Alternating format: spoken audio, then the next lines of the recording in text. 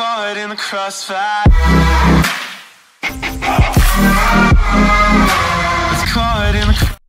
Major awarded $1,000.